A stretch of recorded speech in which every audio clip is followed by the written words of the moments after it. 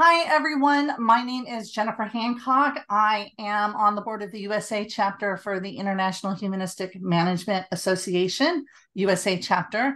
And I am also the founder of Humanist Learning Systems and one of the co hosts for this Lunch and Learn uh, series. Elizabeth is my co host. Hello, Elizabeth.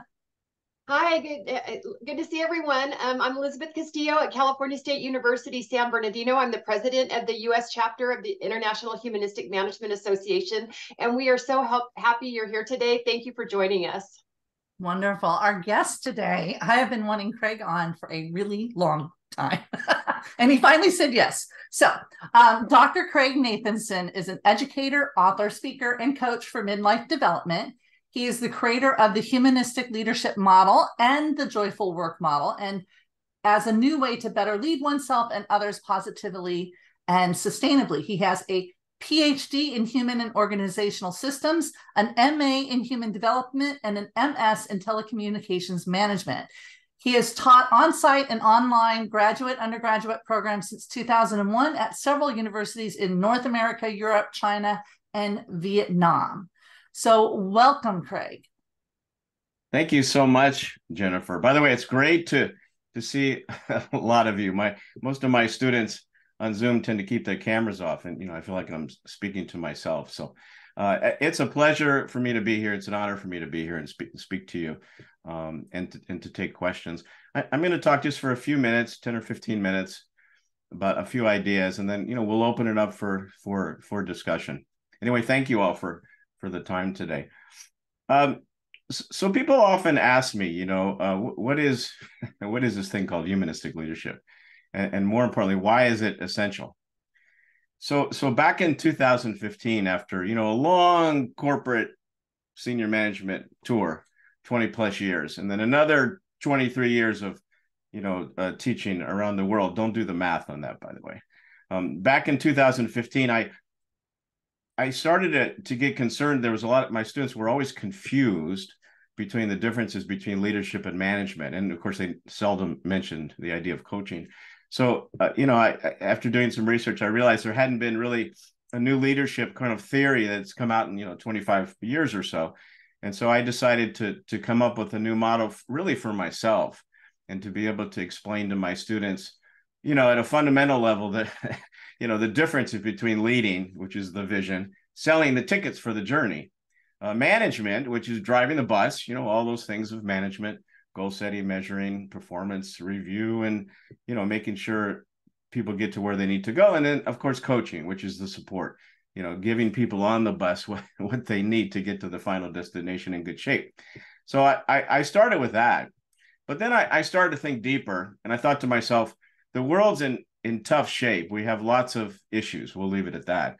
And I felt like, you know, the way we have either, you know, I have four kids, but and I tried my best, you know, they're all grown now, but you know, the way we parent, the way we lead ourselves, the way we lead others, the way we, you know, teach our students, uh, lead our communities, nations, and the world. I thought, you know, where has it really gotten us in the last 200 years? You know, humans have been around about 200,000 years, and it seems like, it seemed like to me at the time that it was only getting worse. And so I thought, wow, I feel kind of a sense of urgency now about sustainability. So this was back in 2015. So I started writing about humanistic leadership. I published a book called The Best Manager. You know, was now that I look back, that was book was kind of primitive because it didn't have you know any of my current thinking. But at the time, if you typed into Google humanistic leadership, you, you saw my work, you saw other people's work, but there wasn't wasn't much out there. And then you know we had the pandemic in 2020 and I thought to myself, if there ever was a time for us to come together as a humanity with a common problem to fix, you know, if there's anything good that would come out of the the pandemic, it would be it would be that. And for a while, it worked. We all stayed home. We all reflected on our lives. We looked at what was important. And of course, here we are in 2023. And as usual, as human behavior is, we've all gone back to our old our old ways of being and and so so thus i have a I, I don't know how to say it. I have a greater sense of urgency than ever before that we we need a new way forward in how we lead ourselves and others if if seriously we want to be sustainable. I tell this to my 19 year old students at university of san francisco and you know they have this like this expression on their face. Um, but the new generations, you know, G- Gen Z, millennials who are now becoming managers for the first time in their 30s, you know, they're they get it. You know, they grew up on their phones, they grew up through collaboration. Um, they get it, and so I think I think the world is ready for humanistic leadership. So I know through all of our work here, of course, you know, we're, you know, we're trying to do that. So, um, to me, humanistic leadership is a mindset. It's it's not a theory. It's a mindset. It's a way of being in the world. Um, what is it? It's about being empathetic towards people. It's working in harmony. It's working collectively. Like in the United States, it's difficult for us because we're an individualistic society. You know, we kind of look at our own, try to optimize ourselves and sub-optimize everyone else. Uh, Asian cultures are much better, where I teach a lot in, in being collective. But you know, we need to be collective, and I think that's part of humanistic leadership to, to, to build harmony and positive, you know, positive relationships. So this, you know, this is the focus of my life's work. So I created this model, a humanistic leadership model, as a as a structure, as kind of a holistic structure, a model to kind of think about how I go about doing this. And that's that's really the next question I get is okay, this is fine, Craig, but how, how do I really do this? So the humanistic leadership model has four levels, and I think I'll just touch on the first three levels at the moment, and then we can kind of open this up. That so the first level deals with self-awareness. I think it's very difficult uh, to lead other people if you can't lead yourself. And most of us are not self aware because unless we had enlightened parents or we had an enlightened professor, um, or unless, as for my research on joyful work, I've written books on this subject. This is another one of the areas of my life that I spend helping people find joyful work because I also think the world would be a better place if we all do what we love. But you know, unless you're between 35 and 45, you know, people between 35 and 45 tend to have one of five things happen to them: a, a relationship issue, uh, uh, you know, a financial issue, an illness, a job layoff. Or for about 80% of the people in my research between 35 and 45, we go to bed at night with angst.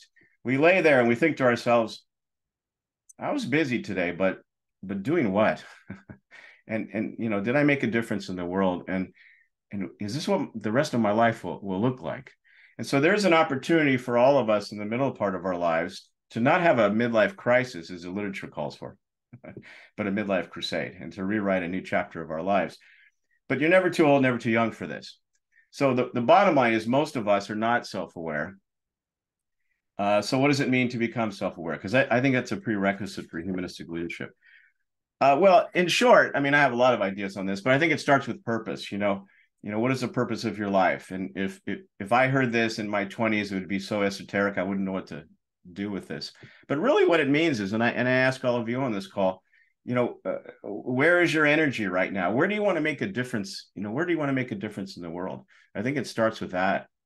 If i was to take all of you on a field trip to uh, a physical bookstore and you know they don't really exist anymore um, for two hours you know what what part of the bookstore would you go to and we tend to go to different parts of the bookstore, metaphorically speaking, uh, during different times of our lives. So, you know, where is your energy right now? So, you know, plant that seed. Where is your where, you know, where is your energy? Where is your purpose? And then aligning purpose to values. We all know this is so important, but you know, what, what's most important to you? What are the three to five things that are most important to you in your life? And how do you know if you're following them?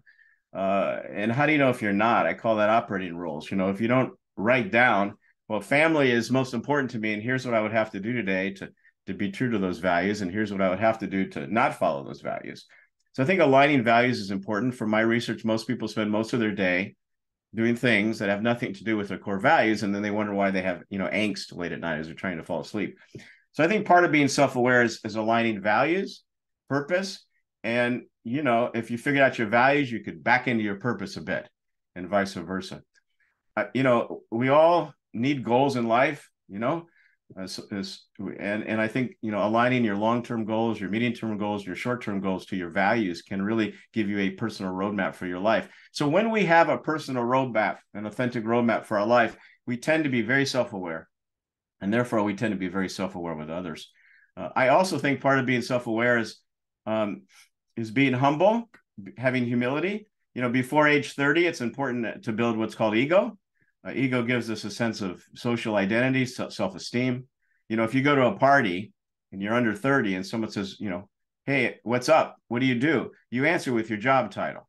and the other person tells you their job title, and everybody walks away happy.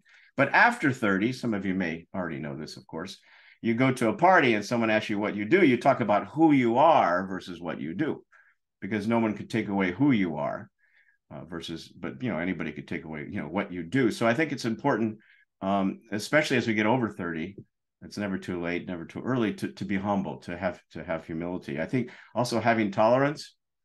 Um, I also think for my research, I don't believe it's possible to remove our bias. We all have them from our collective history, but I think part of being uh, part of being self-aware is understanding our biases. You know, what is it? Where do they come from? Understanding it, and then working really hard to minimize the bias so it doesn't get in the way of our relationships with people when I teach my students the topic of diversity, I, I, focus on just two words, two very important words inclusion and appreciation. You know, how can we all include and appreciate people who are different than us? Uh, and I, again, if we could just do that, the world would be a better place. So these are all, you know, examples of, of self-awareness, you know, being calm, being a person of integrity, being op- optimistic. 23 years ago, I left corporate America gave it all up and walked out the door and it was very risky very took a lot of courage but i've never looked back. And i think part of being self-aware is in fact having the courage to, to kind of pave a, authentic life that makes a difference to you and others. In, in the chat or i received some of the questions for this session today someone had asked where uh, you know where does where does ethics fit in? It absolutely fits in here in self-awareness. I think um, what i try to tell teach and tell people is that you know do my actions you know make a positive difference to other people and, and society. And if they do then i think you're an ethical person. If not well then i think you have to question that.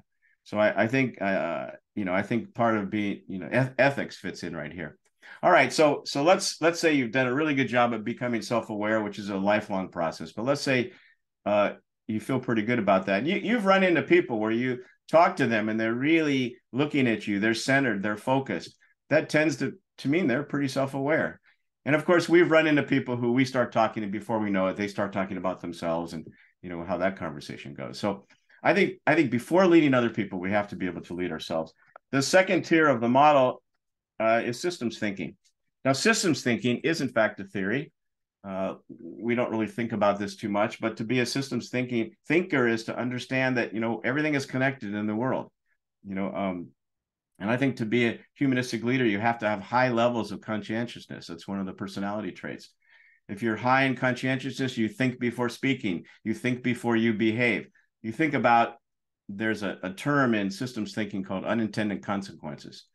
So in other words, every time we take make a decision or you know we act out, or say something, it, things will occur that we didn't expect. And so, as a humanistic leader, you must be a systems thinker. You must understand that everything in life is a system. Our body is a system.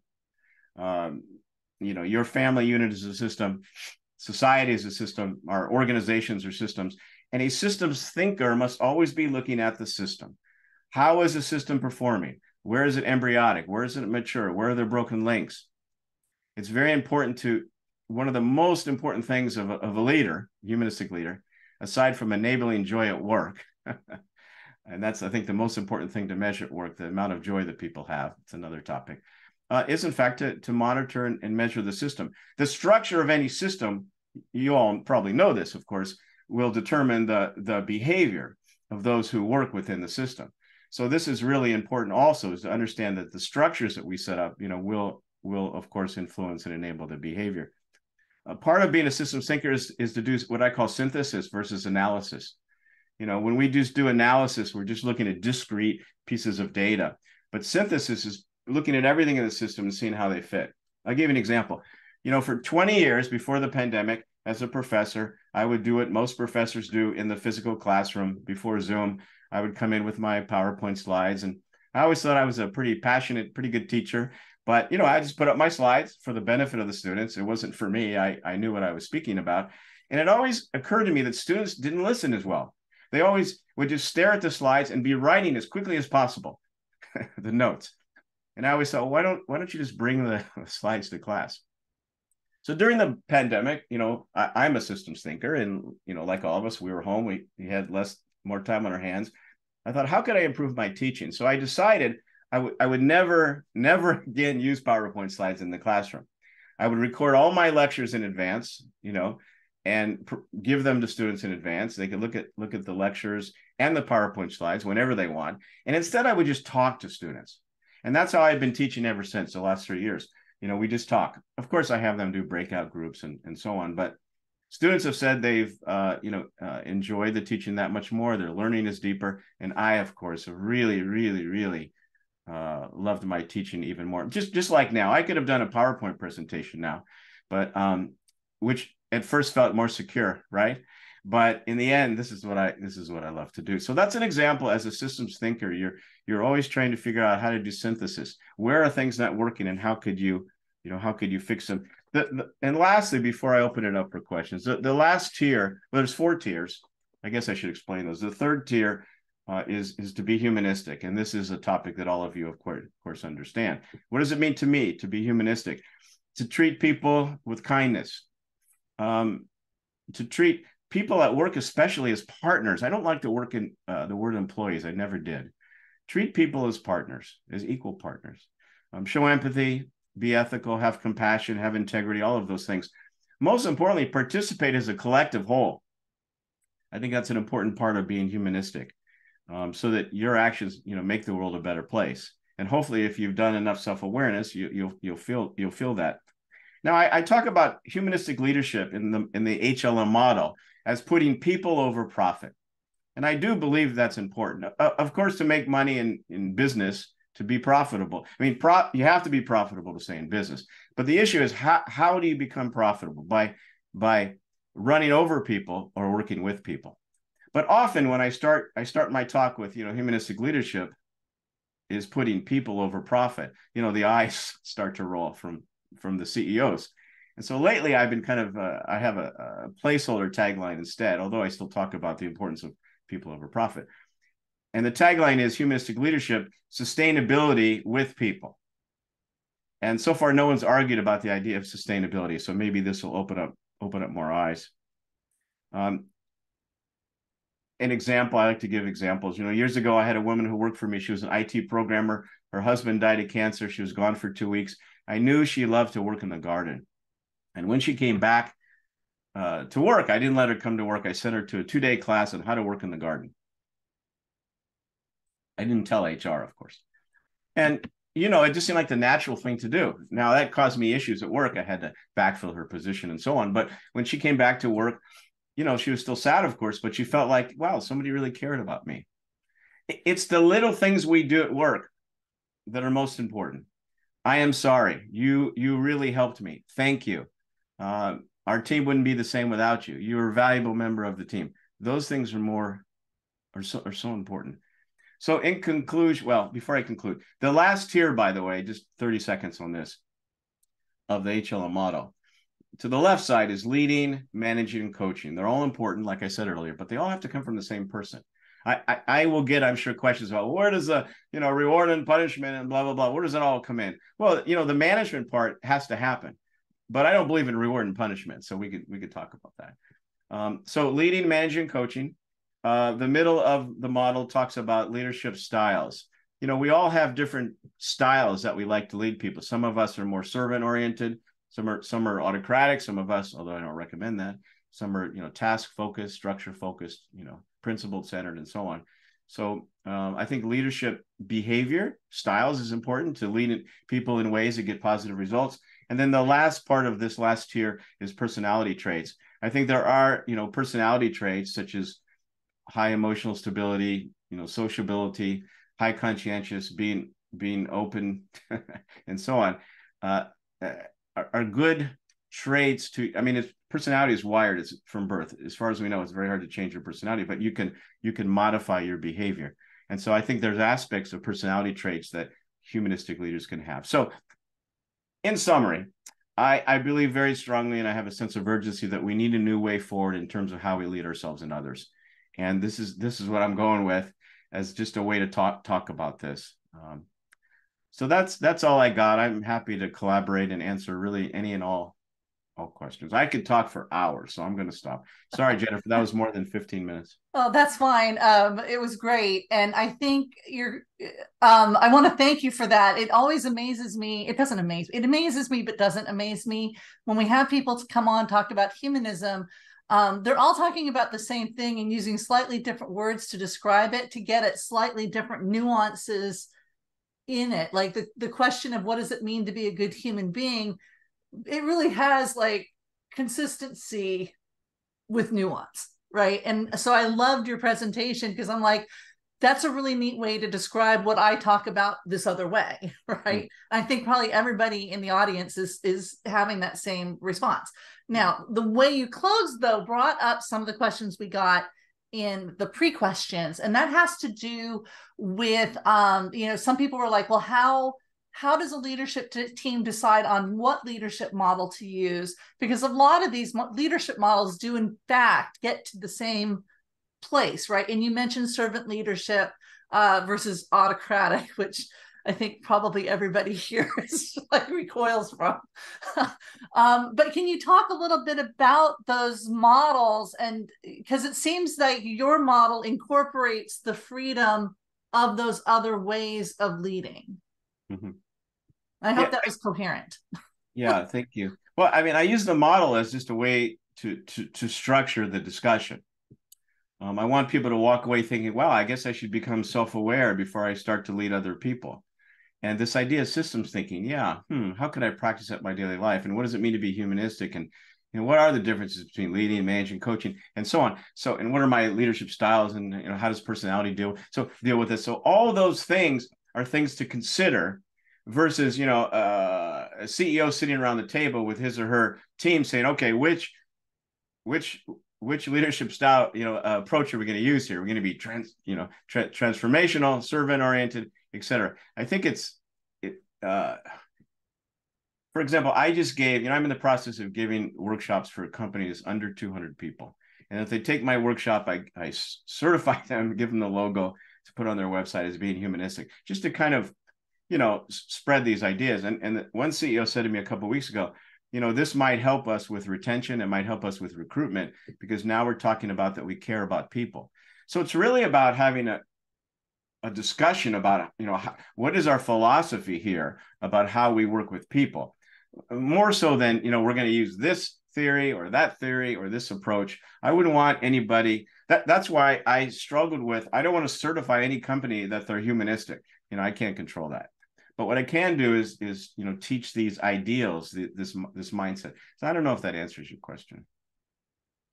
It it does actually. I think that's very helpful, which you know leads me to my next question, which is about how does this work in real life. Um, one of the questions we've got is what are the leadership difficulties you face and how have you tackled those problems using these principles mm-hmm.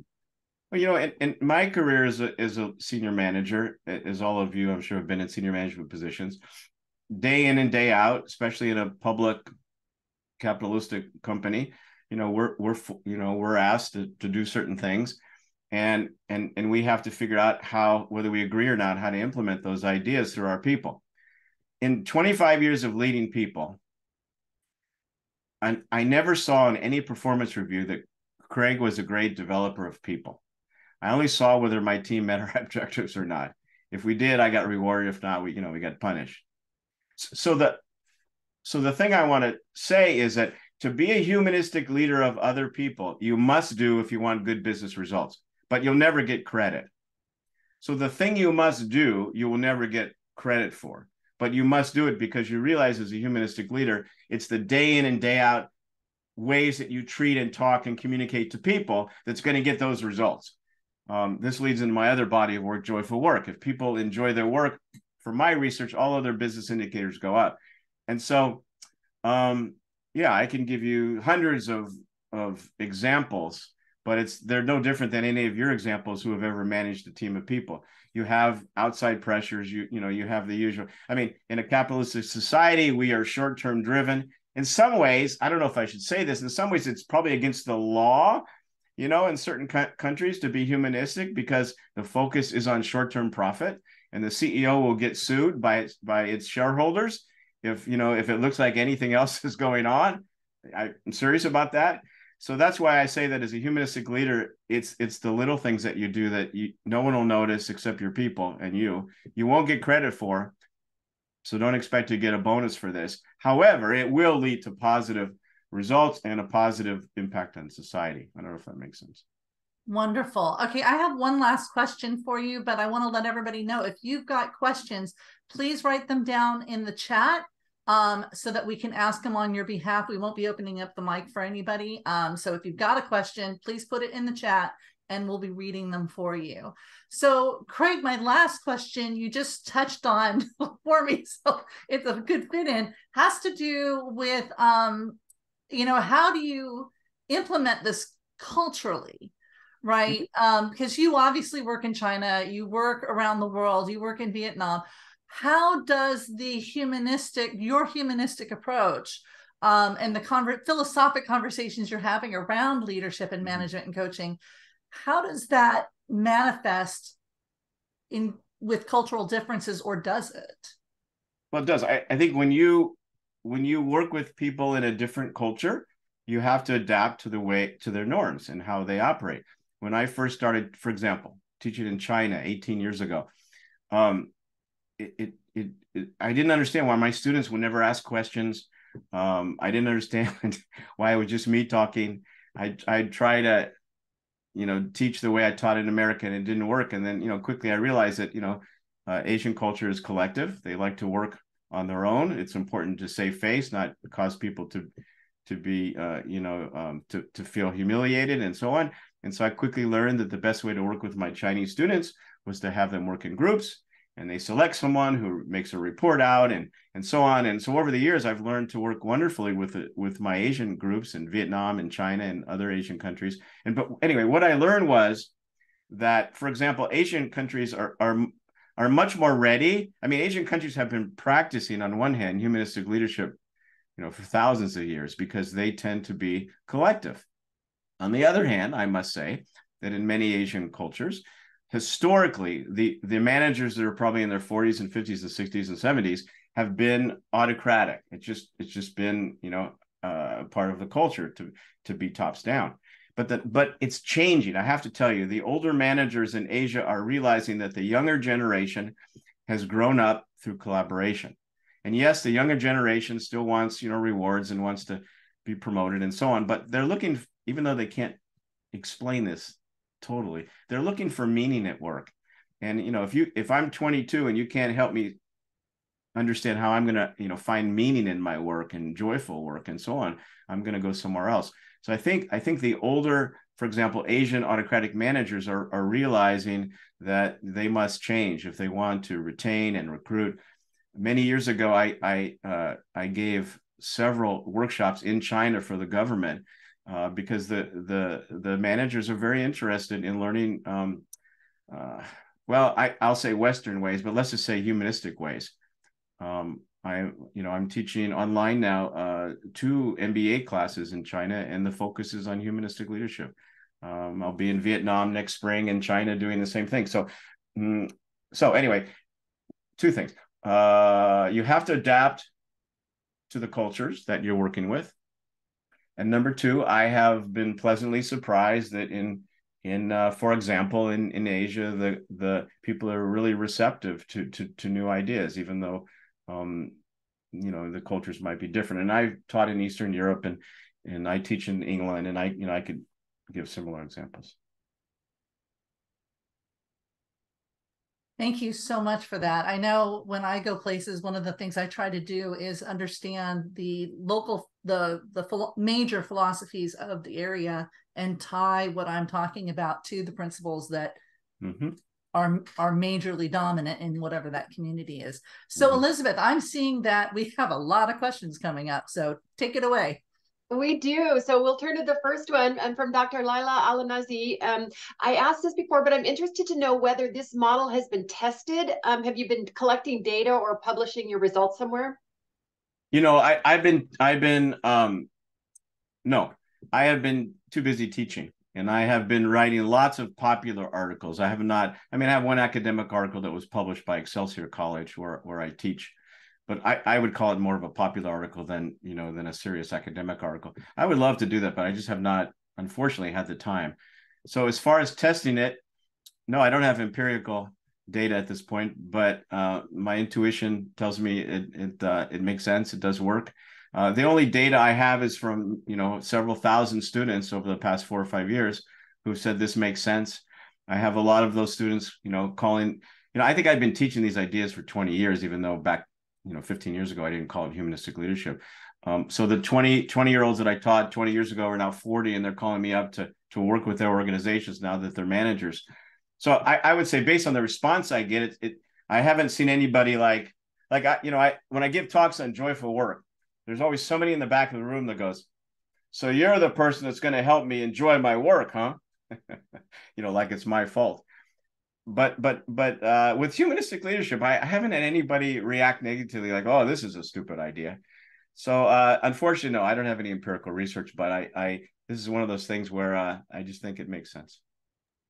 Well, it sounds like it's ripe for the next, taking it to the next step. I mean, yeah. that you have the conceptual uh, layout. So now it would be just, you know, setting up a way to get it tested. Um, so maybe our forum here uh, could be a, a helpful. I would love to publish something with with some of you on this. Absolutely, absolutely, to pair up with three or four people since I don't have the time collaborate. Absolutely. So make a note of that. Yeah. Well we actually do have writing groups that get together and on topics. So we'll definitely and for other people if you're interested as well you know um, reach out to us because that is one of the things that ima does. Good. I appreciate the question. Yeah. Um, so the next one um, what does the term sustainability mean uh, in concrete terms and how do we operationalize it? And that's from bruce at lehigh university well, I think you have to look at it on an individual level. You know, I won't tell you my age, but you know, I want to be doing what I'm doing for the next 30 or 40 years at the same level, at the same energy. Uh, I do what I love all day long and I, I feel much younger. I have more energy than ever before. And I think I'm keeping myself sustainable, uh, you know, by doing what I love and focusing on things like this that are very important to me. So I think at an individual level, you know, we all have to get get rest and eat well and exercise, but more importantly, spend most of our lives doing things that are authentic to ourselves. So that's what it means to me on an individual level. And and I you know I teach people a roadmap on how to do that with their joyful work. Different topic. On an organizational level, um, look, I, I don't need to to sugarcoat this. I mean, if you look around the world, a lot of our organizational models are falling apart um, th- through greed and geopolitics and and um, the fact that we you know we're not we're not we're just you know we're, we're continue to pull resources from the earth but we're not putting anything back in. You know when we're pulling up coal it's a million years old and expecting us to be sustainable. I think we're fooling ourselves. It's a different topic. Um, so i think organizationally um, you know uh, you know there are a lot of com- companies that continue to be very profitable but there's a lot of companies that have struggled since covid. I think i think the real answer is we have a new generation of workers for example, in the US, over 40% of the workers are uh, under 35 years old, and they grew up with just different ideals, even though they were uh, raised by Gen, Gen X parents who were very reward and punishment oriented. Uh, but kids who grew up under the boomers like me, the millennials, I think, you know, I think they're ready for for change. So how you know, I think I think it's time to operate operate uh, you know to make this uh, operational, if you will. I would say I, so. From my view, uh, yes, there are a lot of companies that have made a lot of money and developed a lot of products and you know all of that. But if I look at humanity, if I look at the big picture, you know, many experts have said, and this isn't me, that you know our species, you know, could be extinct in 50 or 60 years. I don't know about you. That's pretty. That's pretty scary to me, and and I could see that, and we could all see that. And you know what I'm talking about. So I think it's time for for a new way forward, and the the best way to operate operate, you know, to make this to make this to implement this is to be to be humanistic. to start today. That's all. That was a big ramble. I don't know if I have a good answer for that. Yeah, no, and I really love that you brought it. Uh, so often sustainability seems like concept out there, right? Versus like we've got to live it and enact it. So uh, that's terrific. Um, Ravi Chitna has a question. Um, how do you reconcile diametrically opposing positions that cannot be reconciled? Uh, for example, current warring parties in Ukraine and Gaza.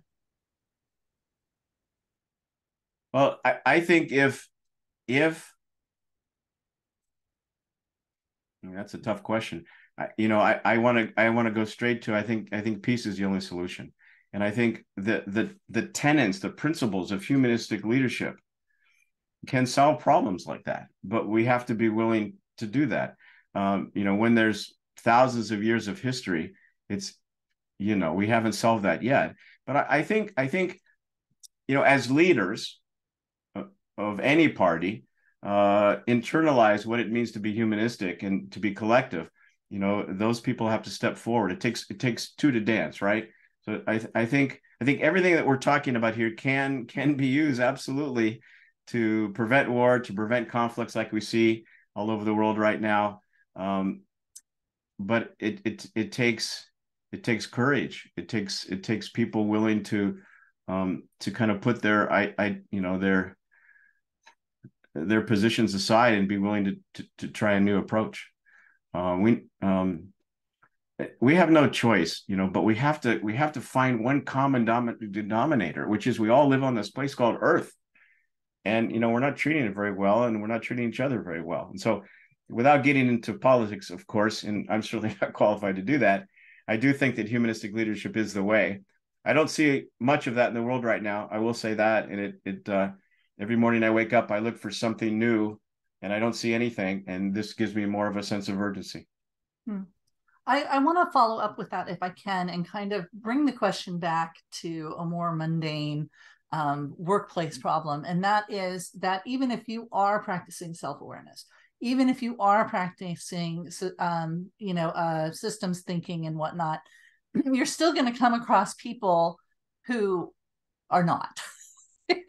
you know, right. so Mm. how does uh, someone who is practicing humanistic leadership and self leadership um, how does that help us deal with mm-hmm. say a psychopath or a bully in the workplace or someone yeah. who's very authoritarian in the workplace um, because these are real problems that we get you know everybody wants to know okay i want to do this but what about the people who don't and how do i interact with them you know I, I teach a conflict on i teach a workshop on conflict and what i like to suggest is we we all come to work with these little bubbles above our heads, you know, and, and they all have they all represent our concerns and problems that we bring from home. And a lot of us come to the work environment expecting that the organization, you know, will solve all of our problems. And when they don't, the potential for conflict is high.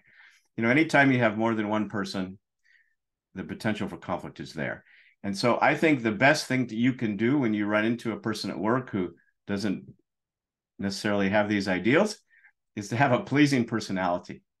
Uh, I mean, you be the person that compromises, that smiles. The most muscles we have in our face, I think they're like 60 or so, and we don't use them very much. You know, uh, you you don't have to be defensive. You try to go for win-win solutions. You're you have a pleasing personality. You're friendly. You listen. You ask questions, and you smile. It's very hard to have a com- conflict with a person who's like that. So I think that's all you can do. We can, as I told one of my students the other day, we cannot make people become self-aware this is on them. But don't ever give up coaching because I think when trust is in place, people are more open to coaching. But when you run into those people, I think that's all you can do. Uh, you you can't change them. People have to change themselves. Okay. Um, our next question is from Killingdon Raj. Um, how to generate or maintain the mindset of doing good and positive things without getting credits externally? So there's a difference between internal motivation and external motivation. You know, those of us, and most of us, are externally motivated because that's the systems that we grew up under, based on B.F. Skinner's uh, uh, experiments with animals. I'll just leave it at that. And, you know, it's nothing wrong with you know uh, a reward or someone says I love you or here's a hundred dollars or you you know pat on the back. But the problem is when we're just waiting for that, often we're not going to get an external reward and, and we're going to feel disappointed and feel bad about ourselves. It's much better. It's much better to develop internal motivation, which will last a lifetime. From my research, I don't think it's possible to motivate people, so we shouldn't try.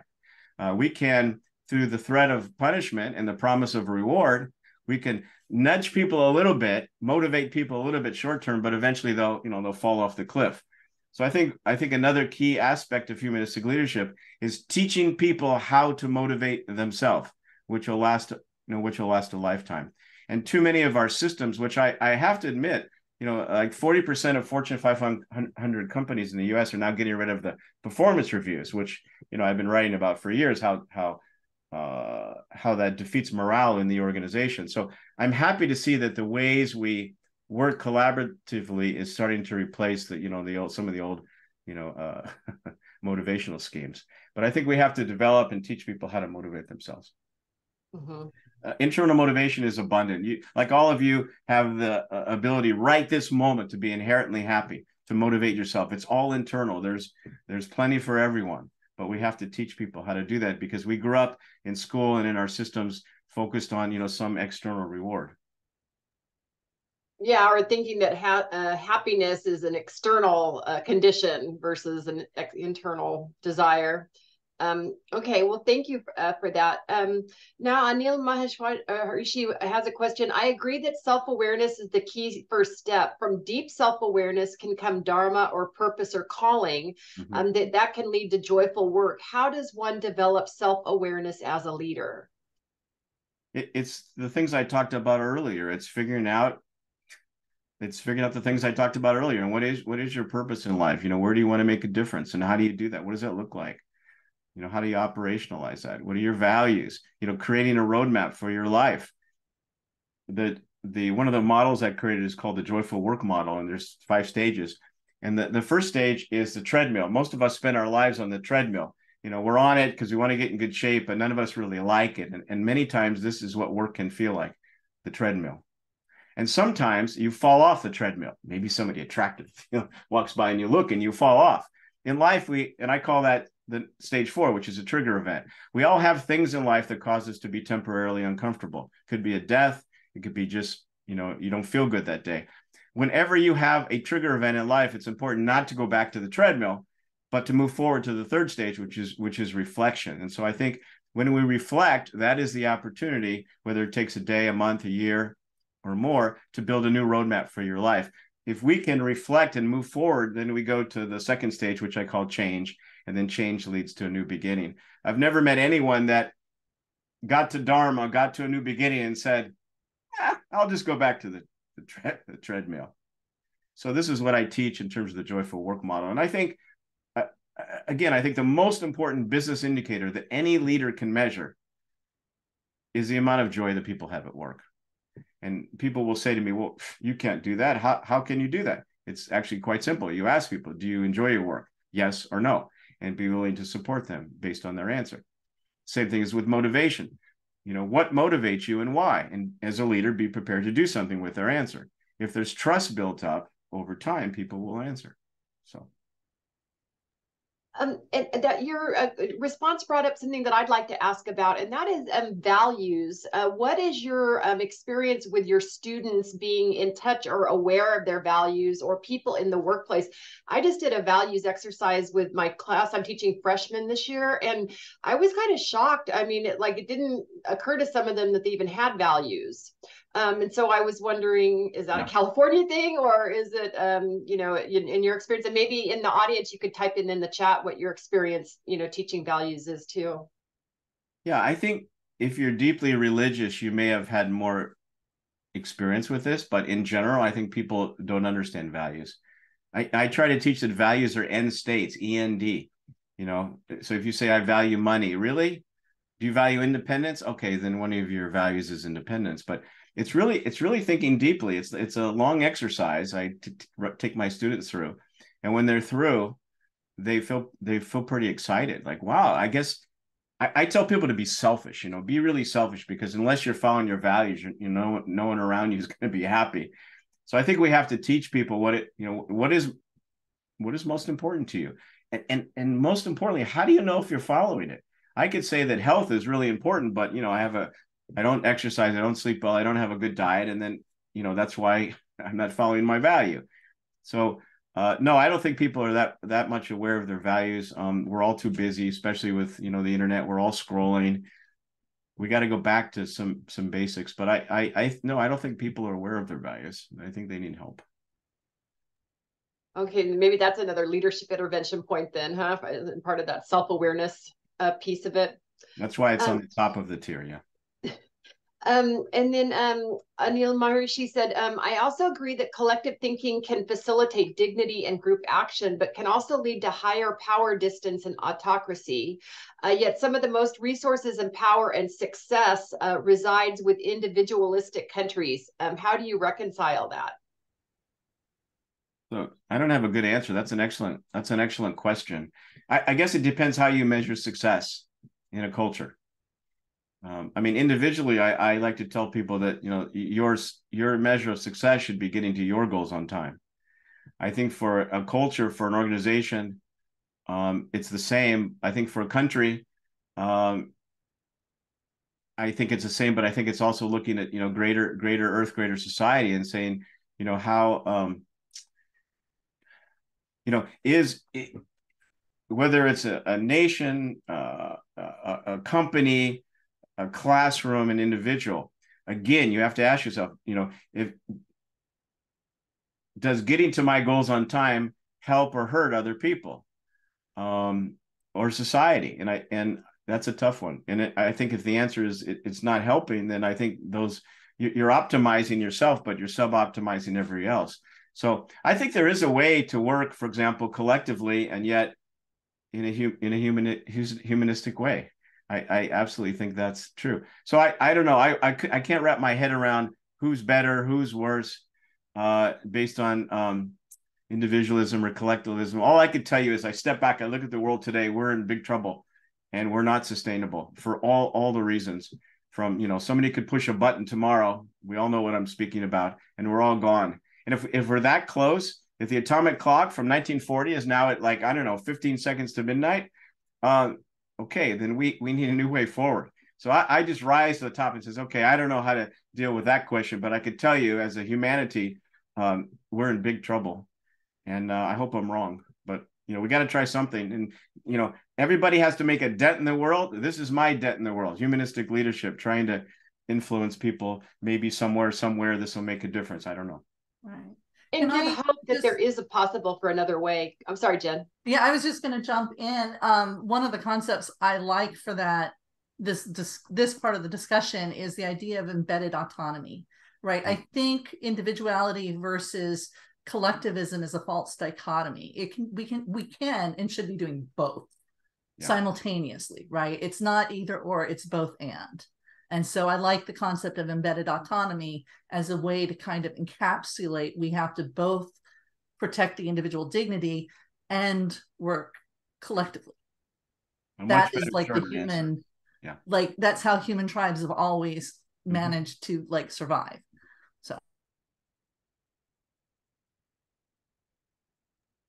okay. Um and uh, Sweat had said um, there is an, e- an email, someone who might be interested in partnering um, on research. So uh, we'll send the uh, chat out afterwards. Um, and then Marty uh, Schumacher said, youth coming from the social justice narratives in university are very sensitive to preventing microaggressions, uh, which are very subjective and can be defined as uh, you just hurt my feelings. How do you discuss this new trend of what Jonathan Haidt calls coddling of American youth to face their fears in the workplace in the humanistic leadership model? Mm. I, I try to raise up the conversation to inclusion and appreciation. How could you include and and and, and appreciate people who are different than you? Young people are afraid to speak in person because they grew up on their phones. They much rather text. And I tell my students, you must have a voice in the world, but just make sure it's respectful and then i teach them about you know conscientiousness and being you know being a systems thinker and so on. So with those skills i think our, our youth can start to to speak out more their opinions and feel good about it but in respectful ways. And then a lot of the the perceived hurts and microaggressions and and and um, you know i'm just going to stay in my shell i think over time that will start to change. But that is a generational challenge right now and it got worse because of covid right? All all our our youth um, instead of working on those things, they they stayed home more. You know, so I think it's it's a huge challenge. But I again, through humanistic leadership, I think we could help everyone. Um, just real quick, we have about 10 minutes left. So just as we start to wrap up. I was hoping we can go all day, Jennifer. it would be nice. There's so much we can discuss. Let's see. And the, so Alex uh, Fong asks, um, how do you approach the teaching of your model to undergraduates and senior executives differently? Do you find undergraduates or senior business executives more responsive to your model and, and why? Mm, both. So for my students, you know, I, I teach the model, we have exercises and so on. With senior executives, I do the same thing, but of course I try to prepare in advance and put all of all of the content and examples, you know, uh, from from their company into the model. So we talk about what does systems thinking look like in your company? You know, what what are what are the systems that are operating in your company? Which ones are are working well? Which ones are not working well? You know, what are the unintended consequences of like I work with an organization recently that you know they do nursing uh, you know, uh, at home nursing. So when you send nurses out uh, to someone's home, you know, what are the things that could happen if you're not prepared with patients? So in other words, I try to take the content and absolutely um, just match it to the company's content. You know, who could argue? So they walk away with you know real things to work on. Um, so that's you know that's that's what I do. And then when I do the self awareness piece, of course, everybody's kind of interested in that. Who who at work has time to uh, you know think about their own self-awareness so that that generally goes pretty well but to answer your question the ceos are very interested when we include we work on their content and that's of course what i want to do. If i just talked in general you know i wouldn't be invited back so. So tethering it to their real life problems and and issues they're dealing with their da- their daily experiences.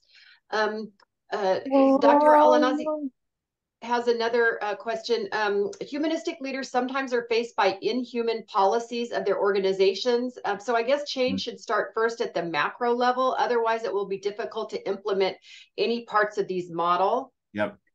Yeah, the leader of the system influences the behavior. You know, that's why, it, uh, you know, a country culture, you can't really change. It goes back thousands of years.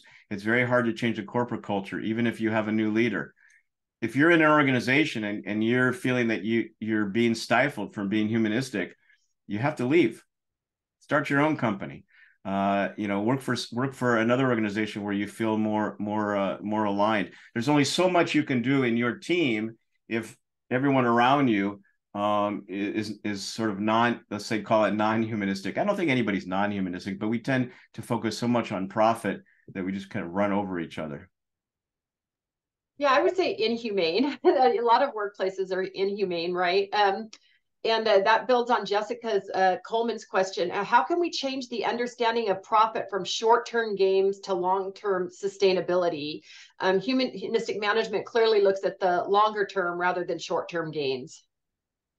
Well, you know, I'm not an economist, and you know, and this is being recorded. So I suppose if I said we'll get rid of capitalism, uh, then you know I would be in trouble. So I, I won't say that. But um, I don't know what the solution is, but but the the capitalistic systems that we uh, you know we most of us work under today, I would say they're not they're not working. I'll just say that they're working for some, maybe the one or two percent, but for most people they're not they're not working. I mean, twenty or 30,000 people die a day of starvation, um, not because we, there's not enough food in the world, but because we you know we let other things get in the way. So I I think I think our systems are not working and I mm-hmm. propose that we change them. To what? I don't know. That's that would be an amazing conversation. And it's not about capitalism versus socialism. It's about we need a new way, a new way forward.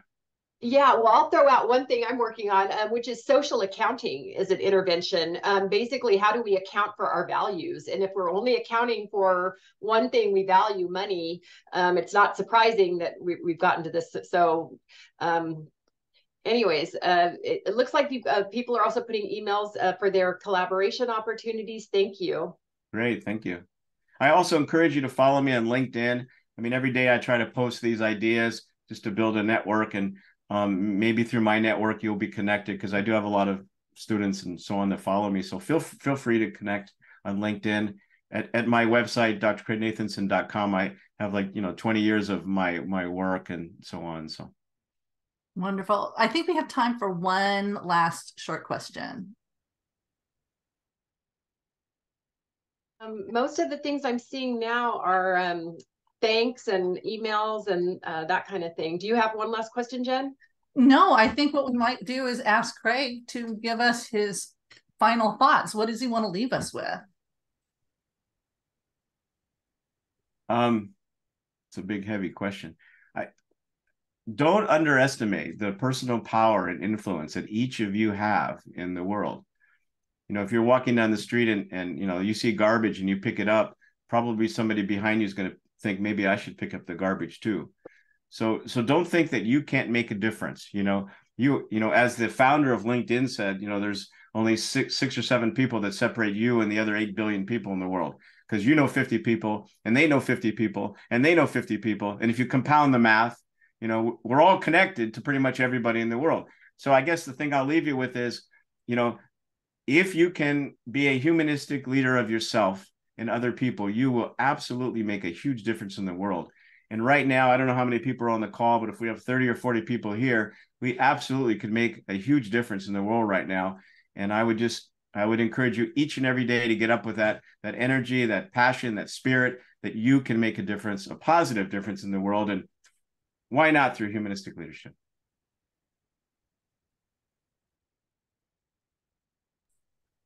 Thank you so much for that. I mean, that's a really great way to end it because I do, for me, my practice as a humanist is to be it like actually do it for myself um, in the hopes that it it helps every little bit. Um, Elizabeth, did you have a final thought before? Um, no, just gratitude. This has been such an inspiring uh, conversation, and I can tell from the comments I'm seeing in the chat that the everybody uh, feels similarly. So, um, thank you so much, Craig, and just for reminding us, you know, why we're here and, and the importance of just um, not trying to solve all the problems in the world, but start with ourselves and the ripple effects out. Wonderful. I'll be cheering for you each each step of the way. thank you. Um, I want to thank everyone for participating in the session today. If you enjoyed this program, we hope you'll consider joining the community and become a member of the International Humanistic Management Association at our website, humanisticmanagement.international. Uh, we're looking for people to help serve on our boards and committees. Um, it's not just a USA thing. We have chapters all over the world. So if you want to get more involved, please, please reach out to us and let us know. Send us an email um, or use the contact form on the website. In addition to supporting the work of the association, members also enjoy the ability to network with other like-minded individuals. You can post about your work on our webs in the membership site and to our website and maybe get, even get in our newsletter. So thank you everyone for our support. Um, our next Lunch and Learn is in December. So we'll see you there. Take care, everyone. Thank you so much.